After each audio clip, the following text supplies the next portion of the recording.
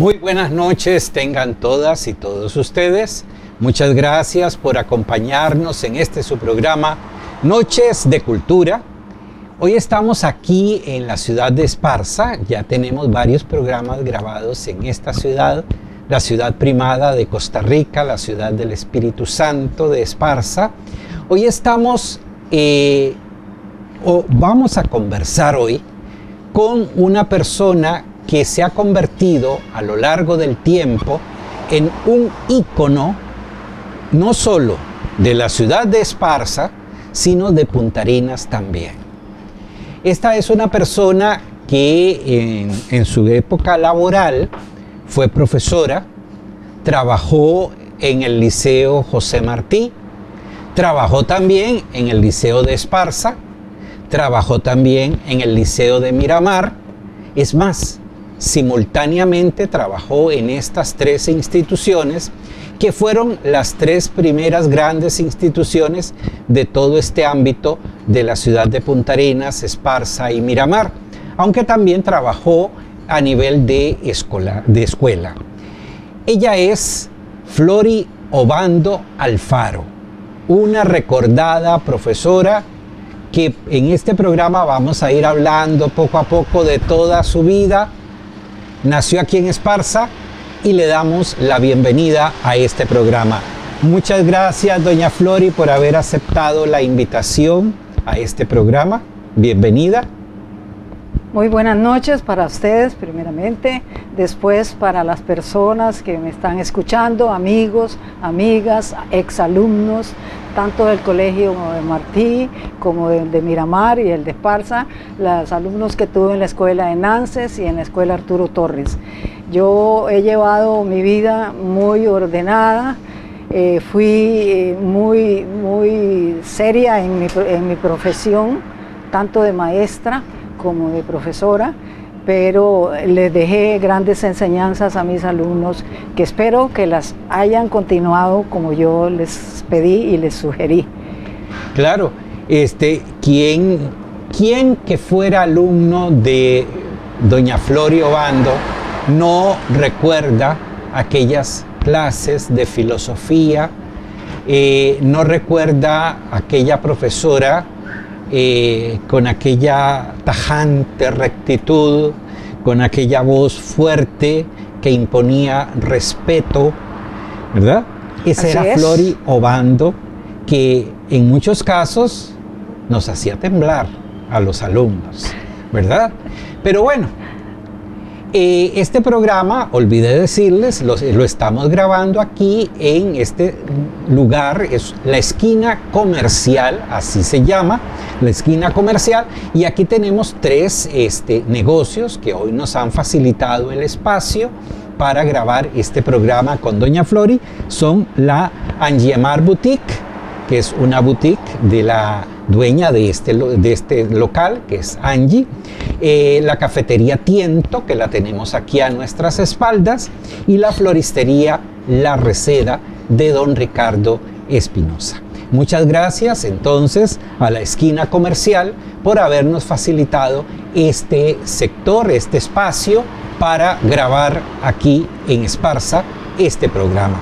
Bueno, doña Flori, cuéntenos, Usted es esparzana de nacimiento. Esparzana de nacimiento, sí. Eh, no, pude, no pude nacer en un hospital, sino con una partera. Ajá, así se nacía antes. Así se nacía antes, doña Tina Bogantes. Doña eh, Tina Bogantes, era de Esparza. De Esparza. De Esparza, la partera. Genuina. Ella, ella era la única persona que podía atender los partos en esa época. Ajá. Y, y siempre atendió a mamá, desde mi hermano mayor Álvaro Eduardo, a mí y a Uriel, todos fuimos traídos por, por doña Tina Bogantes. Muy bien. Este, y dígame, doña Flori, eh, bueno, sus papás fueron don Alfredo Obando Segura y doña Carmen Alfaro Alfaro. Es correcto. Pero ellos no eran de Esparza. Bueno, hay una historia que cuentan, eh, ellos eran apellido Landi.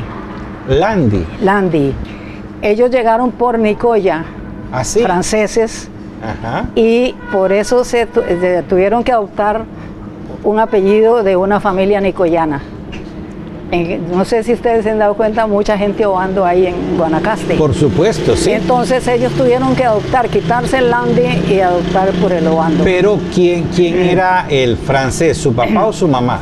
No, mis bisabuelos. Sus abuelos. Pero, Mis bisabuelos. Ah, pero ¿de parte del padre o de la madre? Papá. De, su papá. Sí, Obando, o sea, el Obando. De, los Obando. Sí. Ajá. Entonces, este, yo no sé si, si, bueno, tal vez usted no lo recuerda, el macho Landi que manejaba el tranvía, el macho Landi nunca se quiso quitar el apellido. Ajá. Entonces él era el único que lo conservaba. Y como yo iba mucho a San José, una familiar de papá venía, me llevaba a pasar vacaciones a San José. Entonces yo me montaba en el tranvía todo el día, porque el macho pasaba, era un señor así parecido a mi papá. Y, pasaba y me andaba por todo lado hasta, hasta hasta San Pedro, donde llegaba y daba la vuelta por la sabana. Los, las familiares mías vivían ahí por donde están los repuestos de la Datsun. Por ahí vivían entonces. Y ahí yo me iba a contemplar la salida de los aviones, la, llegada de los aviones. Eh, pasaba muy entretenida en mis vacaciones. ¿Y eso era en la parte de la sabana? En la parte de la sabana, sí. Donde era el, antiguo aeropuerto. Sí, pero después ellos se vinieron a vivir a San Mateo. Ah, sí. Este, ahí mi abuelo fue maestro en San Mateo. Él era, él era, tenía el título de maestro. Mi, mi, eh, mi tío Julio fue diputado, Julio Bando y, entonces ellos, ellos eh, Víctor Manuel Obando fue abogado, el único que se quedó fue uno que era soltero, se quedó, se quedó sin nada, era agricultor nada más. Pero fueron una familia muy respetable. Y entonces, este, aquí yo tengo familia, los Ugal de Segura, los, los hijos de, Nosotros todos lo decimos Tiataná, una señora que hubo aquí, que vivía ahí por los bomberos, ya, ese lote que está vacío ahí. Entonces la tía Taná era hermana de mi abuela y, eh, y, y, doña Chola, Cholita le decían, era la mamá de los Ugal de Segura. Mm, y entonces Juan Félix y esos son, son primos. Bueno, y, cuénteme, eh, doña Flori, ¿cómo era la esparza de su niñez? La esparza de mi niñez era lo más lindo. Yo la viví tan intensamente, mi niñez, porque como yo me crié con cuatro varones, ¿Cuatro varones? Había uno por fuera, pero ese no, no lo tiene usted porque papá lo tuvo por fuera con otra señora antes de casarse con mamá. Pero entonces eran cuatro varones hermanos suyos. Ajá, pero él, él, pasaba todo el día con nosotros. Él se venía, pasaba todo el día, él quería mucho a mamá y se iba a la, donde la mamá de él en las noches casó y siguió. Cuando mamá murió me dijo, yo puedo venir aquí, seguir viniendo, aunque ya mi, mi, Carmita ya no está, solo Carmita. Mi Carmita ya no está, claro que sí, y siguió visitándome a mí. Él iba todos los domingos, después de que ya este, alquilamos la pulpería, iba a mi casa, yo tenía mm. mamá ahí en la casa, iba todos los domingos a tomar cafecito con ella. Ya murió también, ese sí murió ya. Y me, se murió un, tuvimos un hermanito que se llamó Juan Félix. Felito, le decíamos nosotros, ese murió a los dos años era el que estaba intermedio entre el menor y el que sigue, que está en Estados Unidos. Ajá. que serían cinco. Pero usted creció con cuatro. Con cuatro. Bueno, ¿y cómo era esa Esparza? Esparta era tan lindo que eh, no habían encierros, no habían este, este, casas eh, con rejas, eh, andaba uno en la noche. Eso sí, el, el cuerpo de bomberos sonaba las sirenas a las 8 de la noche y encontraban un niño en la calle, lo llevaban a la delegación a que los papás vinieran a recogerlo, porque esa era la ley que tenía de que los niños no deberían andar de, noche eh, en, la ciudad. Pero por lo demás era muy, muy bonito. El, cuando, cuando yo de sexto grado, salí de sexto grado, fui y le pedí este, trabajo a mi tío que tenía la pulpería de la esquina, era de mi tío primero. Y entonces me dijo, pero tenés que traerme un permiso de, Alfredo. Le digo, yo no sabía que para trabajar había que pedir permiso, le dije yo. Y me, y me dio el trabajo. Papá le dijo, sí, sí, a ella le encanta trabajar. Me dio el trabajo y me dice, eso sí, el trabajo que vas a tener es con mi papá, que era mi abuelo Alfredo, que se llamaba igual.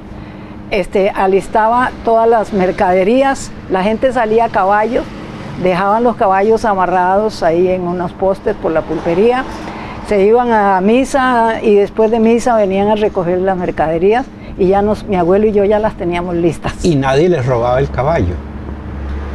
Nadie. Porque ahora me imagino que se robarían No, el ah, caballo. pues claro, lo dejan ahí cuando salen como igual que una moto. ¿ah? La- se, se la roban, ¿verdad? Sí, claro. Y entonces cuando, cuando ya salí de sexto grado, llegué donde mi tía, porque yo, yo trabajaba los sábados y domingos, asistía a la escuela Ajá. y los sábados y domingos venían de mi tía a trabajar. Yo he trabajado toda la vida. Y después cuando ya terminé la escuela, mi tía tenía una tienda detrás del mercado. Y entonces llegué donde mi tía Lima, se llamaba, y le dije, tía, ¿me das trabajo?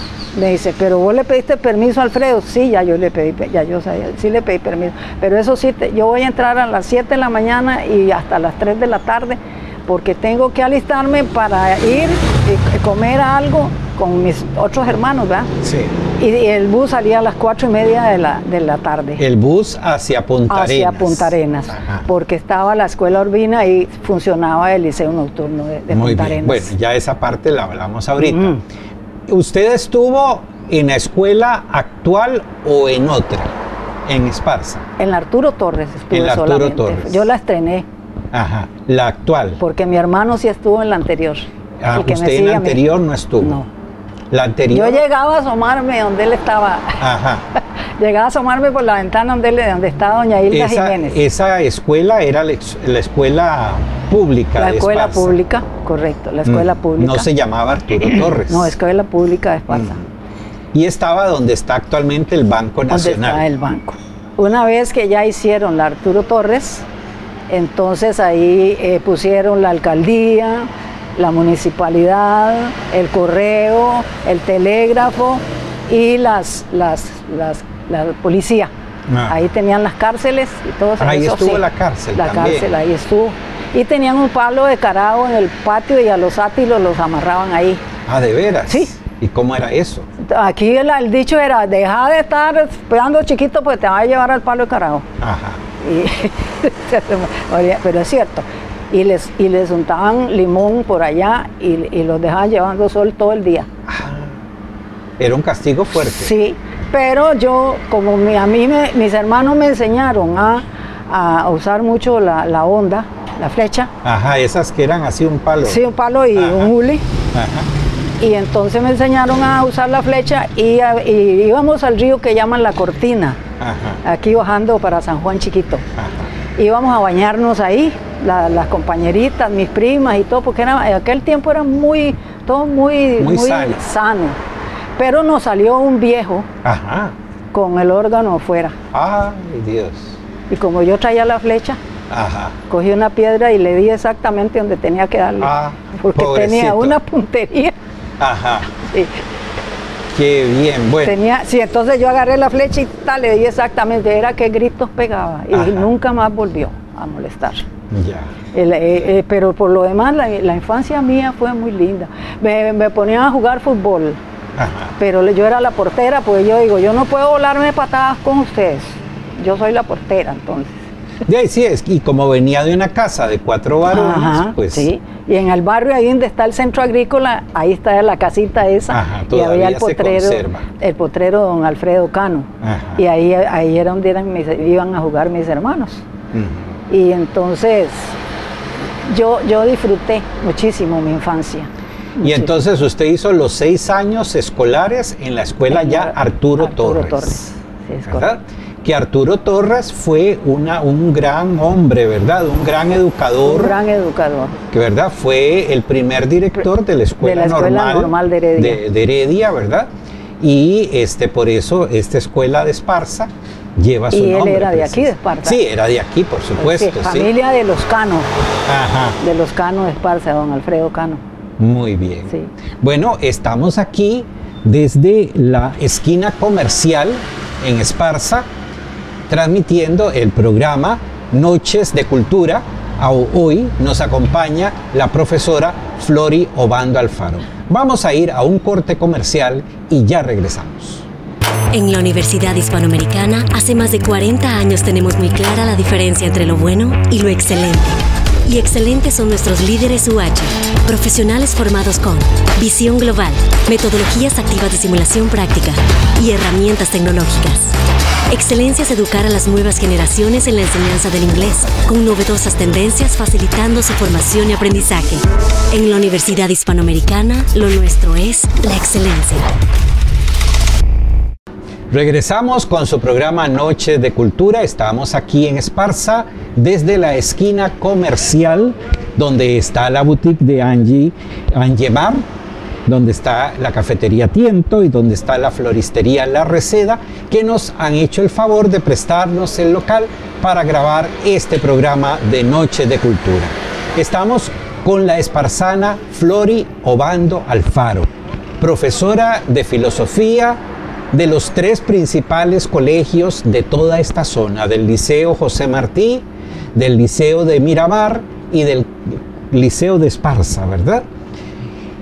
Doña Flori, recordarán los que fueron sus alumnos, los que tuvieron la oportunidad y yo diría que hasta la dicha de ser sus alumnos, que era una profesora muy estricta, era una profesora casi que no permitía una, una discusión, un altercado, ¿verdad? Era muy recta, eh, estrictamente disciplinada. Todos le teníamos miedo. Sin embargo, en 1988, cuando en la televisión costarricense hicieron aquel famoso programa la Dulce Vida, que era un programa donde la gente iba a contar chistes. Doña Flori, aquella profesora seria, estricta, eh, que, que daba miedo en las aulas, pues de pronto apareció en la televisión contando chistes. Pues tanto que no daba miedo, me respetaban. Bueno, ok, la respetábamos. y este contaba chistes y a que no adivinan ustedes, que obtuvo el primer lugar en la dulce vida. ¿Fue así, doña Flori? Así, así es. Entonces, doña Flori, creo que quienes nos están viendo van a querer conocer de su a viva voz algunos chistes de estos. Pues sí, claro, pero... Entonces, ¿por qué no nos cuenta esto o si nos hace una, una introducción a este programa de la dulce vida y luego nos cuenta algunos chistes. Claro, no los cuente todos para irlos contando a lo largo de este programa. Sí, el chiste que yo tengo, los dos mejores que yo tengo es eh, dos borrachitos que estaban discutiendo de dónde era nativo el tango. ¿De dónde era nativo? El tango. El tango. Y como siempre ha habido una pugna entre México y Argentina, los argentinos dicen que fue en Argentina y los mexicanos dicen que fue en México. Así. ¿Ah, Entonces estaban los borrachitos discutiendo y dice, dice, el tango es netamente argentino. Y entonces le dice el mexicano, no, el tango es netamente mexicano. Y pues, no, hombre, dejaste totada, es mexicano. Y estaban en esa majadería. Bueno, no discutamos más, le dice el argentino. Yo te voy a cantar un tango argentino para que tú lo escuches. Pues, portero, digo, y dígale esa ingrata, que aquí le espero, que no me voy sin antes reprocharle cara a cara la, la pena amarga en mi corazón y le dice el argentino, oye, qué ternura, oye, qué melodía, es nuestro tango argentino. Bueno, y para que no lo dude más, te voy a echar a, otro tango argentino. Y entonces dice, cierra esa puerta porque tengo frío, un frío intenso en mi corazón. Le dice, oye, qué ternura, oye, qué... Y entonces le dice, no, hombre, eso, eso, el tango es netamente mexicano le dice el mexicano. Bueno, yo me voy a echar un tango eh, mexicano. Y dice, cierra esa puerta porque tengo frío, un frío intenso en mi corazón. no, no, no, no, no, no, no, no, no, no, no, no, no, no, no, no, no, no, eso no, eso no, eso no. Le, se metió el argentino otra vez y entonces le dice, le dice, no, el tango mexicano es mejor, es mucho mejor. Y entonces le dice, pero ¿cómo me vas a decir? Le decía, pero ya la borrachera aquella que se tenían. Y entonces dice, dice, dice el mexicano, pues mira, en esas noches de frío, de duro cierzo invernal, llegan hasta el cuarto mío las quejas de la ay, Arráncamela con el último de amor, arráncala, toma mi arráncamela con el último de amor, porque el último me lo yo.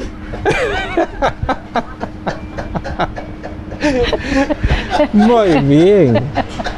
Ese entonces es de los de sus chistes mejores. De los que conté en la dulce vida. Ok, en la dulce vida. Sí. ajá. El que no me dejaron contar fue Ah, no la dejaron contar uno. en la dulce vida, porque Ajá. primero nos hacían una entrevista una semana antes ¿Ah, y sí? después a la semana siguiente íbamos para cuáles eran los chistes y ver si tenían cabida, porque los chistes eran, eh, tenía que cuidar de que no fueran muy Ajá. vulgares, ¿verdad? Ya, ajá. Y entonces el otro que, que- que no me, el que no me dejaron contar fue por respeto a los maestros, pero yo, yo no, no veo.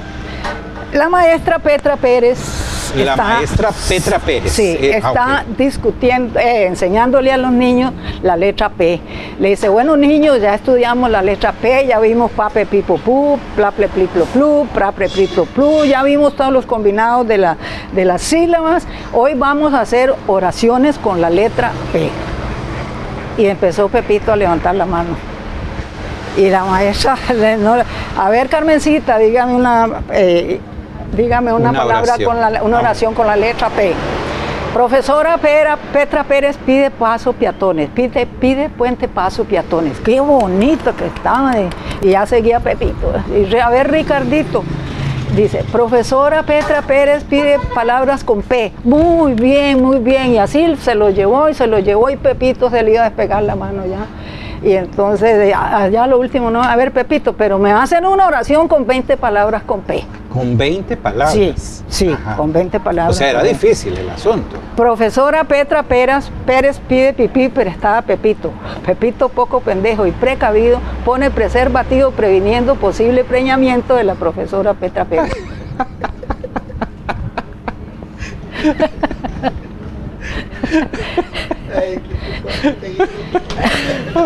Muy bien. Entonces, ese no lo dejaron contar No me dejaron contarlo por respeto a las maestras.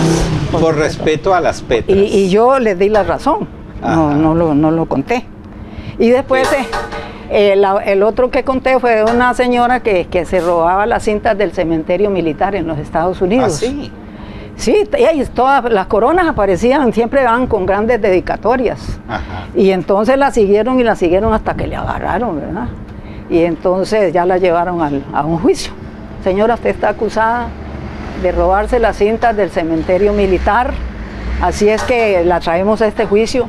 A ver qué tiene usted que decir. Y se puso a llorar la señora. Es que yo con esa cintita me hago mi, ropa interior. Dice, yo me hago mi ropa interior. Y, llorando. Y dice, pero ¿cómo hacerse ropa interior con esa cinta? Si quiere yo les demuestro. Y, y entonces ya no se abrió la blusa. Y el brasier estaba construido con cintas del cementerio y decía caídos en el cumplimiento de su deber. y, pues, y se baja la, eh, blusa y, andaba una con los calzones construidos con cintas del cementerio militar. Y decía aquí, héroe de mil batallas. decía, héroe de mil batallas. Y se da vuelta y se pela y decía, quien lo conoció nunca lo pudo olvidar. Muy bien, bueno, quien lo conoció nunca lo pudo olvidar. Perfecto. Bueno, imagínense ustedes entonces de las lecciones de filosofía donde recuerdo perfectamente veíamos a Tales, Tales de Mileto. Tales de Mileto, Anaxímenes de Mileto, Anaximandro, Platón. Aristóteles, Platón, los atomistas griegos. De toda esa gama de conocimiento de filosofía a la dulce vida, con estos chistes. que es otra forma de filosofía, ¿verdad? El Sí, chiste es otra forma de Porque filosofía. lo que a mí es, es que a mí me cuesta mucho, decía un alumno, co- aprendérmelo de Aristóteles, Platón y, y- y- y- y entonces le digo, ah, ah, diga Aristóteles en un Platón y ya se acuerda usted que es Aristóteles y Platón. Aristóteles en un Platón. Sí, Aristóteles para que sea y Platón. y Platón. Perfecto. Pues sí, entonces, fíjense, ya vamos viendo dos facetas de Doña Flori, ¿verdad? Aquella profesora sumamente estricta que exigía respeto, exigía disciplina. A esta otra faceta de Flori, chistosa, que gana, por cierto, el primer lugar en la dulce vida. Sí, además cantante, porque a mí me gustaba cantar con las, También. las orquestas que venían, yo cantaba con la Maribal, con la Luis Barahona, con la Otto Vargas, en las fiestas de Esparta. En las Me- fiestas me de encantaba Esparta. cantar. sí. Ajá. Tuve que dejar todo eso por mis estudios porque las orquestas me ofrecieron llevarme a cantar con las orquestas. ¿Ah, sí? Y yo le digo, no, yo tengo que darle a mis padres mi título de, de profesora y de maestra o lo que sea, pero tengo que darle, yo no voy a abandonar eso por irme a cantar. Bueno, y, y doña Flori, eh, después de que salió de la escuela de Esparza, pasó a estudiar al único colegio que había en toda esta zona en aquellos tiempos. Estamos hablando de 1953, 53, correcto, que era el Liceo José Martí, nocturno. nocturno, porque el diurno aún no existía, aunque va a partir, a partir del 53 más o menos es que ya se abre cuando ya se construye el edificio que tiene el liceo Fue actualmente. antes, fue antes. Antes. Muy bien, pero doña Flori pasó de aquí de Esparza al liceo nocturno José Martí. ¿Cómo fue esa experiencia? Bueno, Doña Flori, pasar pa- de Esparza, de estar aquí en un pueblo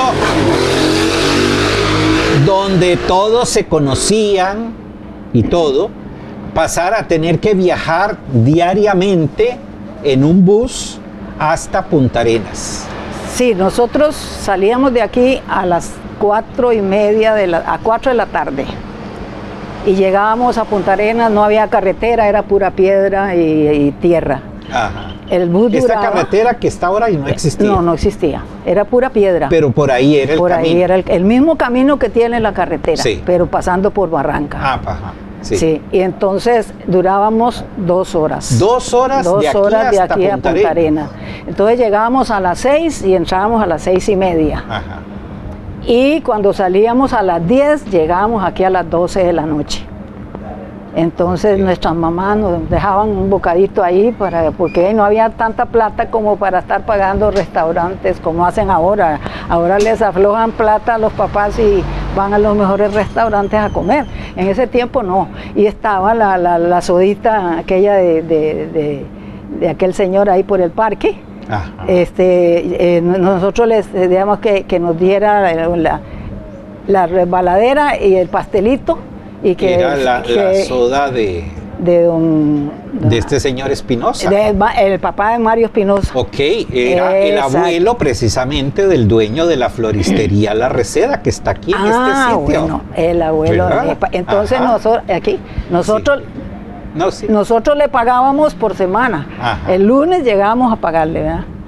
Y ya papá nos daba la plata para que le a don Rafael se Don llamaba. Rafael, Don Rafael Espinosa. Ah, Rafael Espinosa. Y entonces estaba el parque y cuando se iba la corriente, entonces ¿de qué hacíamos nosotros? Esperarnos hasta las 10 de la noche. Entonces no, no, no. Y era muy usual, ¿verdad? En Punta Arenas, que se Sí, fuera la- la sí, estaba el, el Teatro Sun Yat-sen y el Teatro Punta Arenas en ese tiempo. Entonces nos íbamos y nos metíamos al Sun Yat-sen a, a- a pasar el rato porque ¿a dónde nos íbamos nosotros? Teníamos que, que ir a hacer eso. Entonces, e- es, ese, ese trajín, una vez tuvimos que quedarnos en Punta Arenas porque hubo una marejada y el, el mar se tiraba y caía al estero, la- el, la oleaje en la angostura. Entonces el chofer tuvo que devolverse y tuvimos que irnos a dormir a casas de los compañeros Ah, porque no pudimos pasar. Y para la preocupación de, de- de los papás de uno, ¿verdad? Este, y no había teléfonos celulares para estar llamando. Había un celular ahí en la, en la, botica de don Diego Quesada. Un teléfono público. Un teléfono público, eh, un celular, un teléfono público. Había ahí ese, y entonces nosotros llamamos, nosotros llamamos porque nos prestó el señor de la y llamamos ahí y le dijimos a doña Leonorcita, que era la que estaba, oiga, yo tenía en ese momento 13 años. 13 años. 13 años. Llamamos a doña Leonorcita y le dijimos, doña Leonorcita, vaya y le avisa a, mis papás y que mi papá se encargue de avisarle a los demás que, no pudimos pasar por el oleaje. Y, y, salió todo bien. Entonces, de, y, y, así pasó hasta que se abrió, cuando yo estaba en, en cuarto año, se abrió el Liceo Diurno de Esparza. Eh, ya estaba en Esparza. Eh, no, del Martí. El del Martí. El del Martí. Ah. Estaba yo en cuarto año. Ya el cuarto año lo hice en el diurno. Ah, ya fue el diurno. Pero entonces había bus para este. También. Para el diurno también. Había para, bus para el diurno, viajábamos un bus para varones y un bus para, para mujeres. Ok, divididos. Divididos. Muy bien. Vamos a ir a un corte comercial y ya regresamos para continuar con esta historia de Doña Flori Obando Alfaro. En la Universidad Hispanoamericana hace más de 40 años tenemos muy clara la diferencia entre lo bueno y lo excelente. Y excelentes son nuestros profesionales UH líderes en ingeniería, preparados con programas de estudio actualizados en carreras de alta demanda laboral. Excelentes son las habilidades y competencias que adquieren al practicar en ambientes simulados con lo último en tecnología. Excelencia es innovar con dos carreras únicas de actualidad. En la Universidad Hispanoamericana, lo nuestro es la excelencia. Regresamos con su programa Noches de Cultura, el que estamos grabando aquí desde la esquina comercial en Esparza. En esta esquina comercial tenemos tres locales comerciales, Angemar Boutique, Tiento, la cafetería que tenemos a nuestras espaldas, y la floristería Reseda, que nos han facilitado este espacio hoy para grabar este programa con doña Flori Obando Alfaro, Doña Flori, después de sus estudios en la Escuela de Esparza, en el Liceo José Martí, nocturno y diurno, pasó a estudiar para ser maestra. Yo entré a la universidad en el año 59. En el 59. A la Universidad de, Costa Rica. Costa Rica. Estando en segundo año, me dio un problema cardíaco en un mapa que estaba eh, acuclillada un mapa que nos habían pedido y me dio una cuestión y llegó la doctora en la pensión que yo vivía. Llegó la doctora y dice, usted no puede seguir estudiando, usted ya me, me, dice, le puede dar un infarto en cualquier momento. Y entonces me dice, mejor ya llamo a su papá y le explico. Entonces le explicó, entonces me dice, papá, véngase para la casa. Entonces me, me llevaron para, me trajeron para acá otra vez. Y resulta que como no me sucedía nada, yo de vagabundo y papá no podía este, pagarme una operación, ¿verdad? Entonces yo me, me, desilusioné mucho y estaba don Gilberto, don Gilberto no tiene una plaza ahí por ahí mientras tanto. Y me dice, tengo una en Aranjuez. Y me fui a vivir a Aranjuez sin luz, sin agua. Eh, teníamos que sacar de un pozo el agua con una lámpara de canfín, la señora de la pulpería nos, daba el almuerzo a Flora Calvo y a mí, que fue mi compañera de colegio. Uh que nos fuimos las dos. y, entonces ahí estuve eh, dos años, dos años y decidí venirme, ya me, trasladaron a, Nances. A Nances. Entonces en Nances estuve del 66, el año completo, el año completo, pero en ese año completo fue el año en que me operaron del corazón, porque ya yo tenía un seguro. Y el doctor Chinchilla me dijo, lo que tenés es un ductus arteriovenoso. El, el, cordón que une la sangre de la madre se te quedó abierto. Y me dio meningitis cuando estaba pequeña, entonces yo tenía toda esa cuestión. Y entonces me dice, si querés te remito al, al calderón. Le digo, está bien. Y caí en manos de Longino Soto. Y me dice Longino Soto, ¿quién te diagnosticó esto? Le digo, el doctor de Esparza, pero después de que me, él me, me, examinó, Le digo, sí, el doctor de Esparza, pero él tiene aparatos, o no, no, con el estetoscopio. Me dice, pues ustedes tienen un gran médico, porque yo tuve que hacerte ecocardiograma, electrocardiograma y fonocardiograma para dar ese diagnóstico igual al que, que tiene, al médico que tienen ustedes allá. Y me dice, ¿cuándo querés operarte? Le digo, déjeme ir hoy avisarle a mis papás y, y me vengo a, a, a, internar mañana. Me dice, así, así. Le digo, sí, así, pues yo soy así. Yo nunca pienso en, en que, no, yo primero mi salud y entonces me, me operó. Entonces pues, se rió tanto porque cuando ya salí de la operación me lo hizo por la espalda, me quitó una costilla porque no podía trabajar el trabajo claro. que tenía que hacer, me quedé aquí una costilla que me falta aquí. Me decía, ay Florita, te tuve que quitar una costilla. Le digo, ay, no se preocupe, doctor, ya le devolví la que me prestó Adán, ya se la devolví. y se moría el doctor de risa, le digo, ya le devolví la, la, la costilla a Adán, le digo, no se preocupe por eso. Me dice, no, inclines cuando caminas de ese lado pues, te quedas torcida y echate para el otro lado. y ya entonces ya vine otra vez a trabajar a, a Nances el, el, tiempo que me quedaba y, y fue cuando decidí irme a, a, la Escuela Normal de San Ramón a sacar el título ya en serio. De filosofía. De, no, de maestra. Ah, de maestra. De maestra. Y estando ahí en, en la escuela de Nances, empecé a ir de los veranos a la Universidad Nacional a estudiar filosofía. ¿Y qué la impulsó por estudiar filosofía si era docente de escuela? Porque en ciencias generales, allá de la Universidad de Costa Rica, ahí lo llevan a uno para que uno escoja la profesión que quiere. Yo escogí la de maestra ¿eh? y estuve en la Facultad de Educación. Jugué voleibol porque yo en el colegio Martí yo jugaba voleibol. Entonces me, me metí con el equipo de, de la Facultad de Educación y, y, y, entonces después me pasaron a la, a la, a la selección de la universidad y por, por, yo jugaba muy bien voleibol. Pero para estudiar filosofía, ¿qué fue lo que...? La... Eh, a eso iba. En estudios generales tuve el mejor profesor de filosofía que fue don Constantino Lascaris. Daba unas lecciones preciosas, pero preciosas. Y, y, yo me enamoré de esa, de esa asignatura. Cuando llegué me dice, papá, pero ¿por qué vas a estudiar? Te va a morir de hambre con eso, con filosofía. Le digo, papá, eso es lo que a mí me gusta. Yo voy a ser maestra, pero voy a ser filósofa también. Eso es lo que me gusta. Me dice, bueno, allá usted. Y en eso, pa, crean la, la, la filosofía en los colegios. Ah, no estaba. No antes. estaba en colegio. Nosotros fuimos, las que nos grabamos, fuimos los primeros profesores de filosofía. Ah, ¿de veras? Ah, sí. En ese ¿Y en año. qué año se graduó usted de yo, filosofía? Yo me gradué, ah, por aquí en está. El 73. El, sí, creo que el 73 sí. dice ahí, ¿verdad? Sí, 73. sí, creo que el 73. Y, y, y por eso, por don Constante, se le llenaba el, el, el auditorio. Al profesor Lascaris, porque daba unas lecciones magistrales, magistrales. Y eso fue lo que me enamoró de la filosofía. Y usted llegó aquí a Punta Arenas y le, la pusieron a dar en los tres colegios. No, la situación fue siguiente. Eh, como son 40 lecciones las que uno tiene que dar para tener su en salario aquella época. en aquella época. Entonces yo daba, yo daba tres quintos años aquí. Ajá. ¿Qué hacía yo con tres quintos años? Y eran tres lecciones y de filosofía. De tres lecciones de filosofía. O sea, eran nueve por, lecciones. Por, por, por semana. Sí. ¿verdad? Y entonces yo me puse a hacer números y digo, si yo paso al Martí y a Miramar, completo las 40 lecciones. Claro.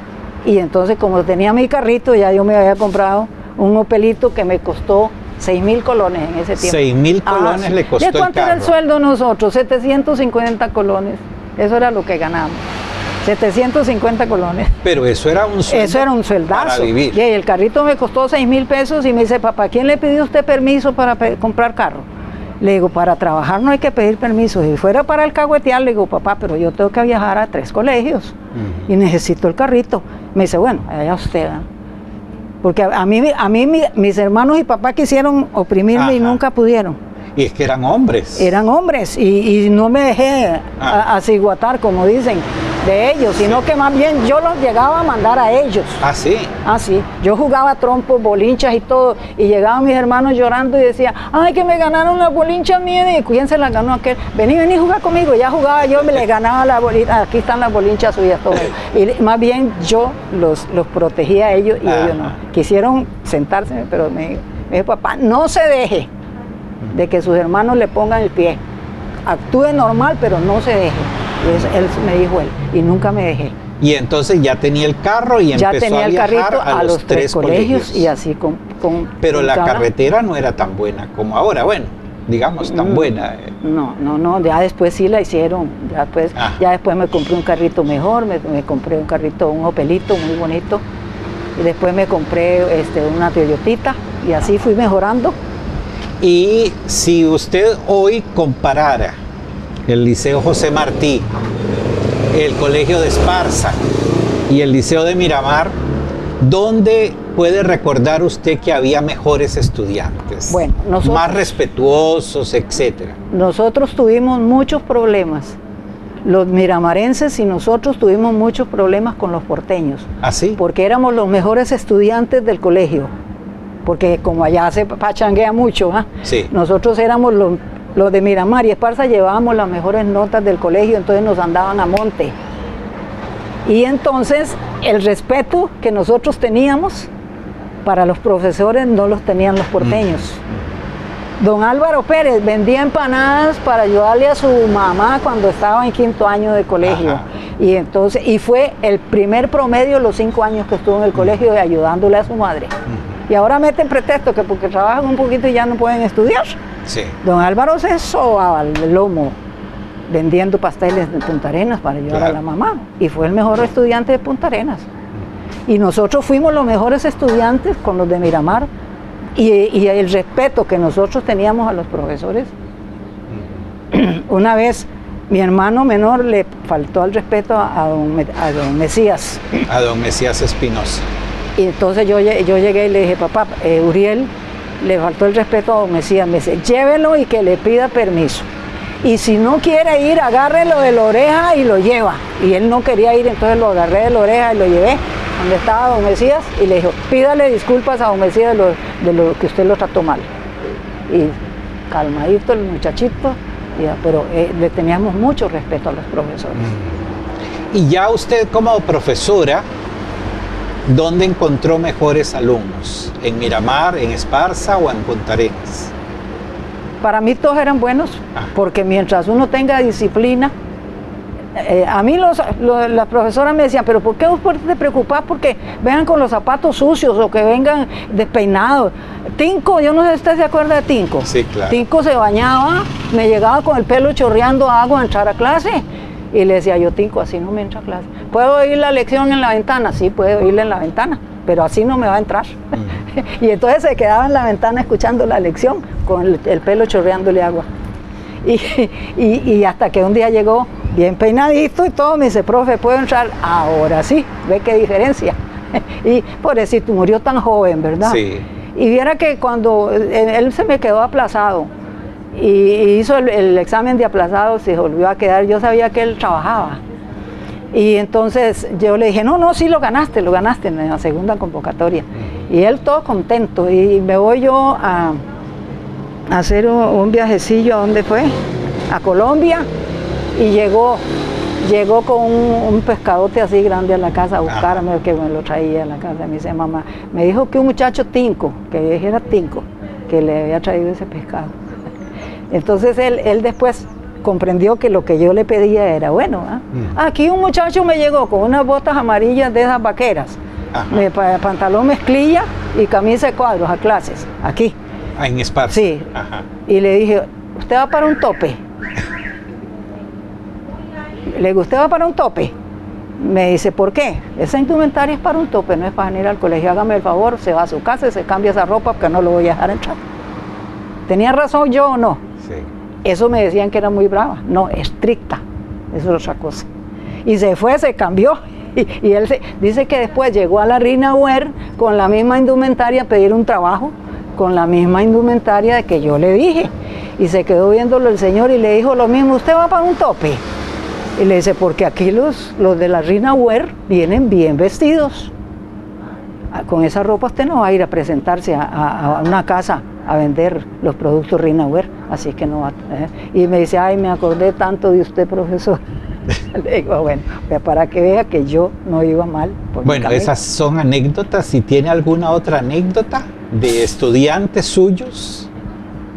Bueno, este, antes, tal vez de estudiantes no, sino que nosotros antes cuando ya llegábamos, se terminaba el quinto año, entonces había que un mes de, prepararse para, eh, para, para bachillerato. Y había que hacer, eh, como hacen ahora, se reúnen y estudian juntos y todo.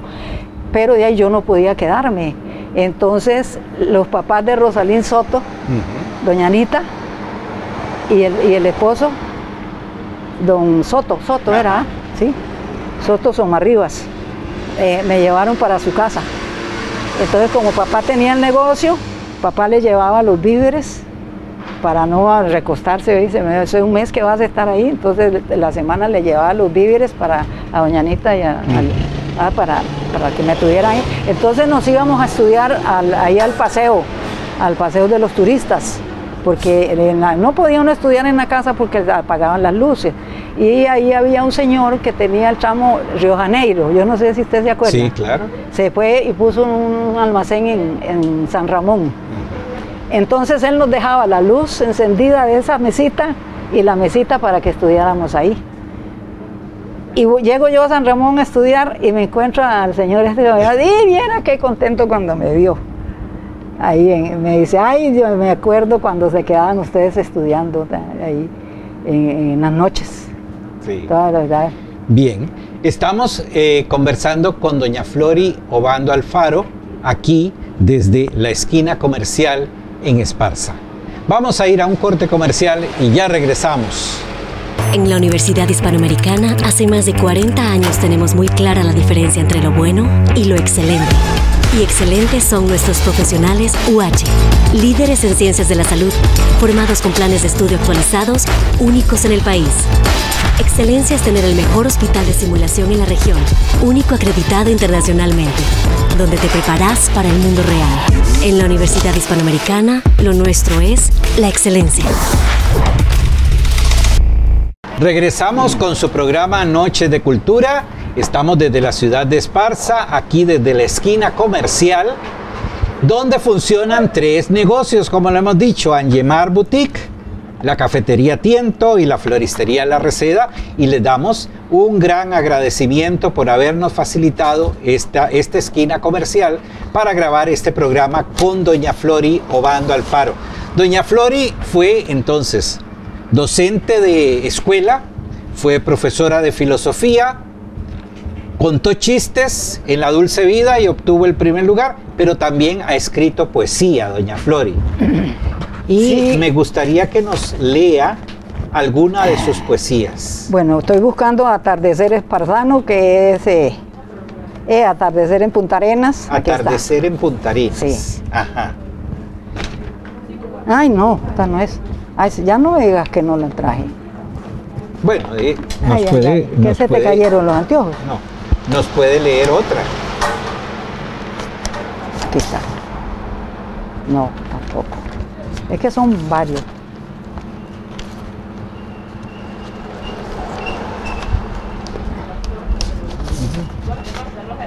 Aquí está. Ahí está ya. Muy bien. Entonces, este es Atardecer en Punta Arenas. En Arenas. Vamos a escuchar a... Esta la escribí una, una tarde que estaba estudiando en la playa me fui, estaba en quinto año y, me fui a la orilla de la playa a estudiar y había una tarde preciosa y entonces dice, cuando estoy triste y me embargan las penas, me voy hacia la playa a la tarde a contemplar. Se me pasan las horas mirando las arenas como las acaricia con sus olas el mar. En las, en las aguas los rayos se reflejan conservando su magnífico fulgor y sus destellos dorados se semejan a un manantial de oro en todo su esplendor. Las olas siguen siempre en su derroche, mientras tanto las sombras van llegando. El sol ya se ocultó, ya es de noche y la luna me quedo yo esperando. Me pongo a recordar mis, pocas mis locas aventuras, así poco a poco olvido yo mis penas. ¿Cómo logra calmar las amarguras el embrujo de una tarde en Punta Arenas? Muy bien. El embrujo de una tarde en Punta Arenas. Muy bien.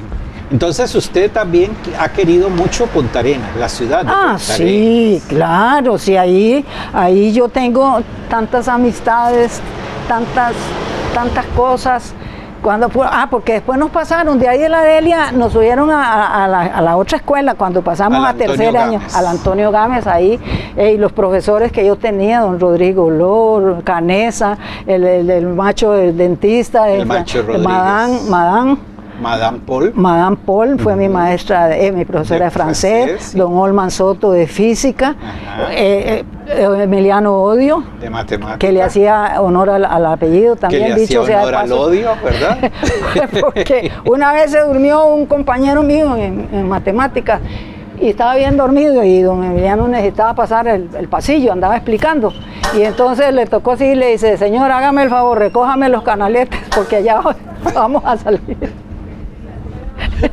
y a otro le dijo, ay, no, no, no, porque don Emi, usted no nos explicó esto para el examen y yo estoy enredadísimo. Ah, no, usted quiere que le pase el santo, le repique las campanas, le recoja la limona y de feria lo ponga a miar también. Ah, era grosero para hablar, pero yo, yo regañaba, pero es que don Emiliano se pasaba. Le, hacía honor, le hacía honor al apellido. Muy bien. Bueno, doña Flori, este, ya nos contó tres chistes ¿Qué le parece? Ya estamos llegando al final de este programa. Si en los poquitos minutos que nos quedan de programa nos cuenta unos chistes más. Bueno, puede ser. A ver. Una señora se fue a pasear a Estados Unidos y le mandó al marido, suplico te me envíes, suplico papeles del divorcio. Yo encontré un compañero que reúne las cualidades del Cadillac 2022. Y ahí se queda el hombre y dice, Cadillac 2022, ahora qué hago yo? De ahí voy a ir aquí a... ella, él vivía en México, voy a ir aquí a, a, ver cuáles son las cualidades del, del Cadillac. Entonces le dice... Él no sabía que era un carro. Sí, sí, ah, un carro. él sabía. Entonces se fue a la agencia de Cadillac para preguntar cuáles eran las calidades del, del Cadillac. Y entonces le dice, es de mayor empuje. Esas son las cualidades. Es más largo. Se desliza suavemente. Es de mayor empuje y lo mejor que tiene es que se para cuando usted lo desea. Entonces, eh, la mujer, el hombre buscó una compañera y le contestó, ¿verdad? Buscó una compañera y le dice, relativo a lo tuyo, te envío papeles de divorcio. Yo encontré una compañera que reúne las cualidades del Pontiac. Del Pontiac. y se ahí dice la mujer, me pagó igual, debo ir a averiguar cuáles son las cualidades del Pontiac. Dice. ¿Y cuáles son las cualidades del eh, Pontiac? Sí, el Pontiac es más cómodo en su interior no se recalienta, no le ruge la mufla y no bote el aceite por el cloche.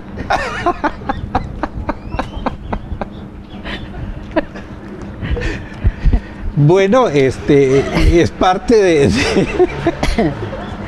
de, los chistes, ¿verdad? De Doña Flori Obando Alfaro. Aquí los compañeros de, la parte técnica están gozando bastante. Bueno, ¿Quiere, ¿Quiere, otro más? Claro, claro. Están eh, unos médicos en, cirugía, pues en cirugía no, sino reunidos. Ah, lo que ellos habían encontrado más fortuito en la, carrera de... Y entonces dice uno, mira, yo encontré una señora que tenía el, el corazón a la izquierda, a la derecha, pero le funcionaba perfectamente. Y le dice otro por allá, mira, yo encontré una señora que vivía sin hígado y estaba lo más bien yo encontré otra y así fueron, y dice uno, no, hombre, yo el problema que tuve fue que encontré una, una mujer, era italiano, yo encontré una mujer que tener, que, tener eh, como, el, como un melón, corazón como un melón. El corazón como un melón. Sí, y entonces le dice, pero ¿cómo? Ah, no, la, vagina. Ah, la vagina. En la vagina como un melón.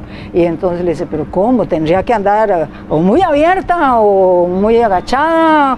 Eh, ¿Cómo es? No, no, no, ¿por qué me estás diciendo eso? De ahí, porque si tiene el tamaño la vagina de un melón, pues tiene que andar o abierta o agachada. Es que yo no estoy hablando de dimensiones, yo estoy hablando de sabores, de sabores.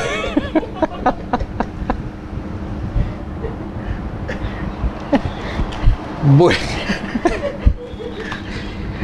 ¿Cómo estamos con el tiempo? Vamos a preguntarle a la parte técnica cómo estamos con el tiempo. Doña Flori, nos indican que nos quedan tres minutos.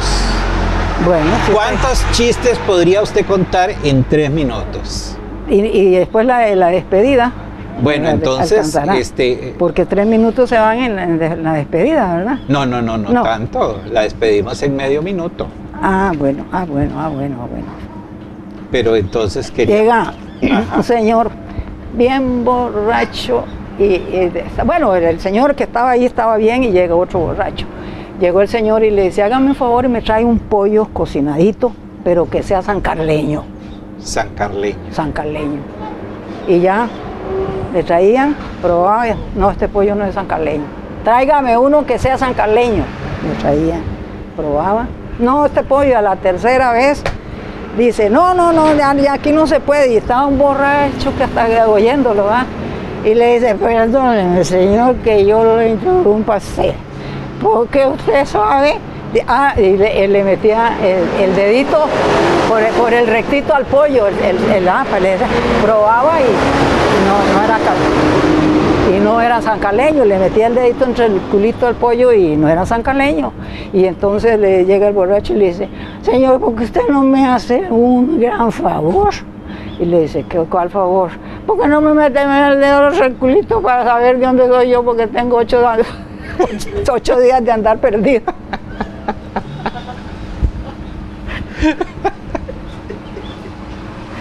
Bueno, y vamos a ir a un último chiste y con eso estaríamos llegando al final de este programa de Noches de Cultura, Ustedes conocen el, el juego de béisbol, ¿verdad? el juego de béisbol, sí, lo claro. conocen, el juego de- Claro. se va un señor de aquí a, a- Los Ángeles Ajá. y a pasear. Y cuando viene le dice, ¿cómo te fue? Le dice la esposa, ay, mira, muy bien.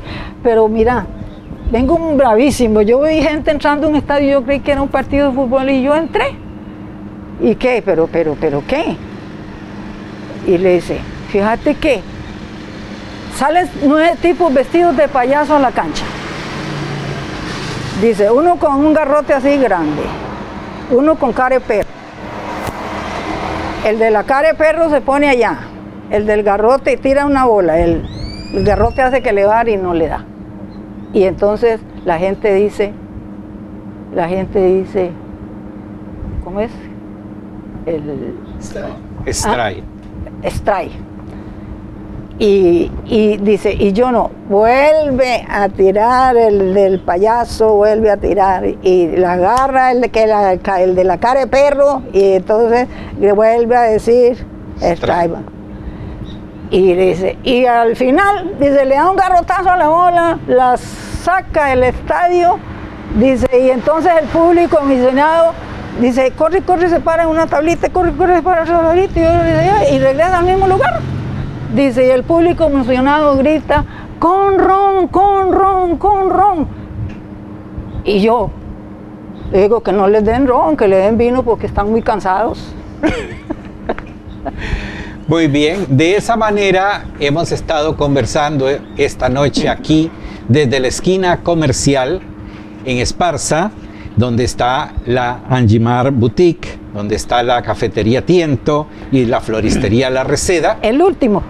Ah, bueno, nos pide uno más, pero ya Sí, tenemos no, pero muy- era ya casi Va un, un señor en, en diciembre por a la orilla de la carretera y chiquito quería una bicicleta y ven una bicicletita botada así en el sanjo y le dice, papi, mire, mire, papi, traiga esa la bicicletita. Pero está toda derrumbada. Sí, pero usted, usted la arregla en la casa. Y de veras se llevaron una bicicletilla y todo, ah, sonaba aquello. ah, Y entonces ya el, el señor llegó y la arregló y se monta el huila y salió y le dice, papi, ¿qué le hizo? eh? Le eché aceite 3 en 1 y vea cómo está. Le eché tres en uno y ya. Y en la noche eran muy pobres, estaban haciendo el amor la pareja en un catre de esos que saquean.